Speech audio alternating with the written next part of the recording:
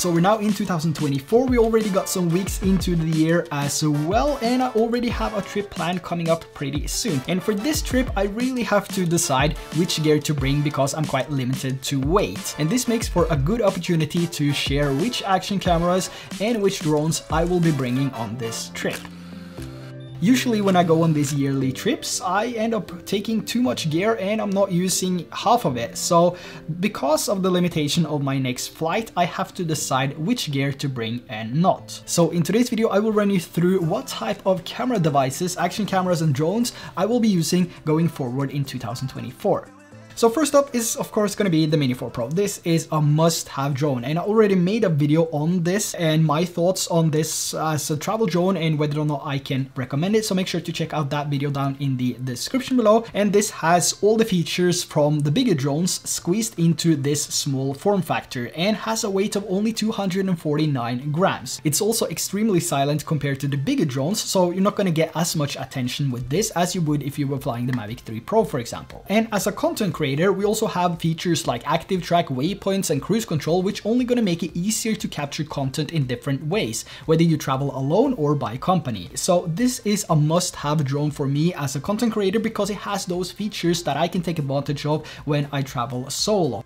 Now, talking about the next one, that is of course gonna be my beloved Insta360X3. And this was my most used action slash 360 camera last year, and it has become a must-have camera for all my trips, whether I go on a motorcycle or travel by plane or just do a day trip. What I really like about it is the versatility and ease of use. For some, the learning curve might be a bit steeper, but if there's one camera it's worth learning how to use, it would be this one. You will have so much more fun using this than any other action camera. And because it shoots 360 videos, I don't really have to think about anything once I press the record. I can hold it in different positions to create different perspectives and then later just go back into the editing software, whether this is the studio app or mobile app, and then just reframe the video as I want. And I've also been taking this on multiple trips to Hawaii and all over the place here in Norway. And despite the lenses being slightly more exposed than other regular regular action cameras, I've never actually scratched or damaged the lens. But if you're unsure of whether or not the activity you're gonna do is bringing a higher risk of damaging the lenses, you can also get these lens protectors,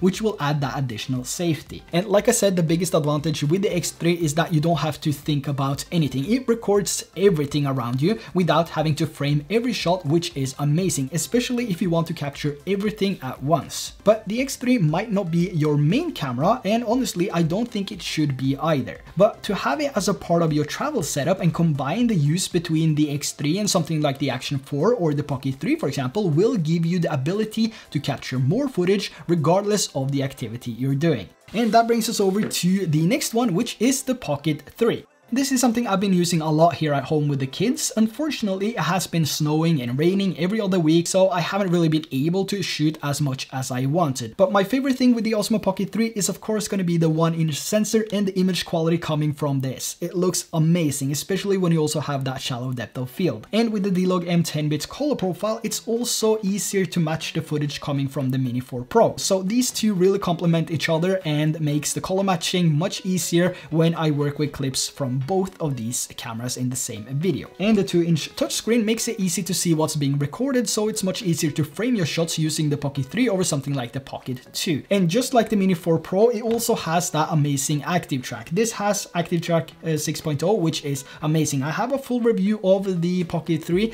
link down below if you want to check my honest opinion about this, but the Active Track is amazing. So you basically have this small pocket vlog setup, which you can easily put in your pocket, backpack or shoulder bag, and because it has that one inch sensor, you can use this as your cinema camera when you're out doing a day trip, for example, or travel to a different destination, which means you don't have to carry around a huge camera setup like the Sony a7S III. And with the shallow depth of field you get with the Pocket 3, including the showcase mode, you can use this as your main studio setup as well as your travel camera. So that brings us over to the next one, which is the DJI Mic 2. Unfortunately for me, I only have this one microphone which came with the Pocket 3, but if you're you're a solo content creator, this is more than enough to capture those nature sounds, wave sounds, and just do normal vlogs. But I'm actually thinking about getting another one of these, just the single transmitter here, but in white color, so in case I want to switch it up when I'm making a video, depending on the shirt that I'm wearing, I have the option to choose between black and white. And the Mic 2 does also have 32-bit float and internal recording, so you don't need to have this connected to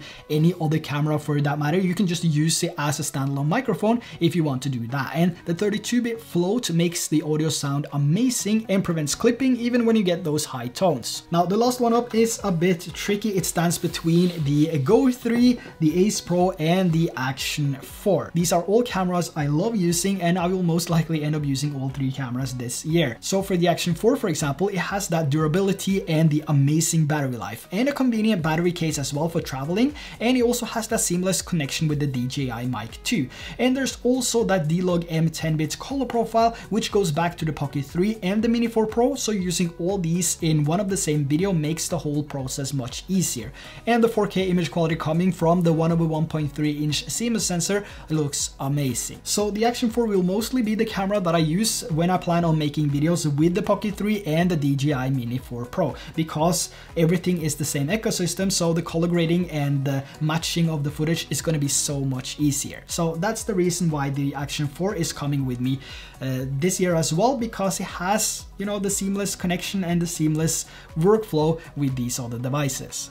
The Go 3 will always be my favorite hiking and family camera because it's such a small device. Look at this, it is the size of my thumb here and that's one of the reasons I love this so much. And I think the image quality coming from the Go 3 looks amazing. You have to record your videos in the flat color profile though and you have to do some uh, changes to the settings. You want the bitrate to be high and you also want the uh, sharpness to be low. I wouldn't say medium, some people are going with medium, but I prefer to do that additional sharpening in post because in post you will have more control over the sharpening and you don't want the camera to decide and digitally uh, sharpen your image. So low on the settings and the, the bitrate on high, shooting 2.7K at uh, 30 FPS, you know, that's everything that I do with this camera and I just love the quality coming from it and how convenient it is. It is the world's smallest action camera, you can mount it anywhere and it's extremely light at only is it 35 grams or 32 grams but yeah that's one of the reasons or the main reason this is coming with me everything. And we also have the action pod so you can frame everything. It is the perfect travel camera in my opinion. But again if you want to have that better image quality and if you want to show some stunning visual uh, videos depending on where you travel or what what you want to do uh, you know you have to opt in for a bigger uh, and, and better camera like the Action 4 or the Ace Pro. So that brings us over to the last one here, which is the Ace Pro. And this is what I consider the best low light camera on the market.